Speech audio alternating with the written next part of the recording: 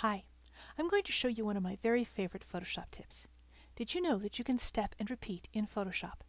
Most people who've been using Photoshop for long know that you can transform objects by holding down the Command key, that's Control on a PC, and tapping T. That puts you into free transform mode, and when you're there, you can rotate things, you can resize them proportionally or disproportionately, you can do all sorts of things.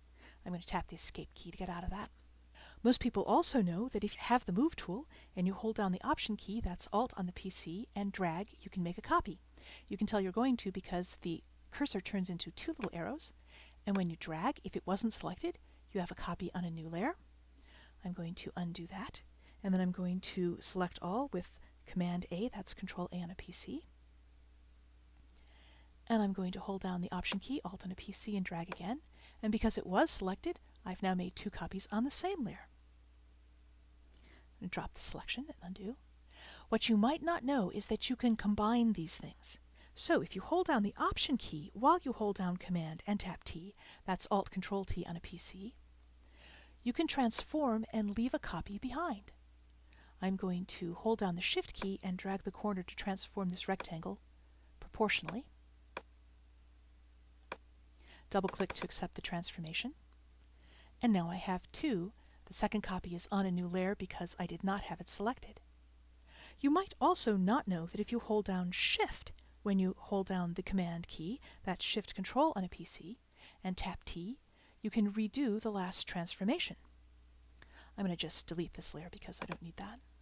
So you can combine all three of these things. If you hold down the Shift key and the Option key and Command, that's Shift, Alt, Control on a PC, and tap the T key, you will make a new copy and apply the transformations as quickly as you can tap T. You can essentially step and repeat with Photoshop. Which means that some things that you might have thought were difficult turn out to actually be fairly trivial. For instance, say you have a single petal like this and you want to make a flower. All you have to do is hold down the Option and Command keys, that's Alt Control on a PC, tap the T key, move the reference point here to the tip of the flower petal, and then up here in the options bar, just change the rotation to 72 degrees. Double click to accept the transformation, and you have a new petal perfectly placed.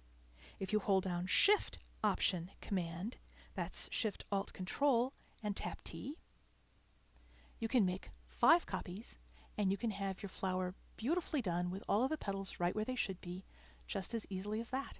Now, of course, the bottom petal and the top petal don't overlap properly in this particular example, but we can fix that very easily. If you hold down the Command key, that's Control on a PC, and tap on the layer thumbnail for the bottom petal, you can load the active pixels from that layer as a selection. Then all you have to do is hold down the Option key, that's Alt on a PC, go to the Make New Mask icon at the bottom of the Layers panel, and you can make a mask that's inverted as you make it. So the mask will hide the pixels that are currently selected instead of showing those and hiding all of the others. Just like that. And now you have your perfect flower made just as easily as that. Paste in a center, which I already have on my clipboard, and you have a flower. Since the top layer is already selected, if I hold down the Shift key and select the bottom layer, I can select all of them in more recent versions of Photoshop, then go to the Layer panel and I can make a new group from the layers. We'll call this flower. Tap OK. And there I have flower in a group. I can transform this too by holding down Command and tapping T. Sadly, I can't use the combinations. Um, it won't make another copy if I hold down the Option key. But oh well, I can resize it in the normal fashion, and I can double click to accept that, and make new copies by just dragging them out the way that I ordinarily would. So you can make several different copies. Now if I wanted to change the color of the flower, all I'd have to do is open up the layer group here and make a new layer above the petals but below the center because I don't want to change the color of that. Go to the adjustment layer icon and I can choose a hue and saturation layer and I can make the petal blue. Nice bright blue. Click in the gray area to hide the adjustment panel because I don't have a lot of room here. Now, I don't want the other flowers to be blue, and I certainly don't want the centers to be purple, so what I would do is select the entire group by clicking on the group folder up here, and change the group blend mode from pass-through to normal, and then the adjustment layer will only affect the other layers that are in that group. And that's how easy it is to do certain things, to make flowers and lots of other things, using step and repeat in Photoshop. This has been Robin Wood, and I hope that you found this helpful.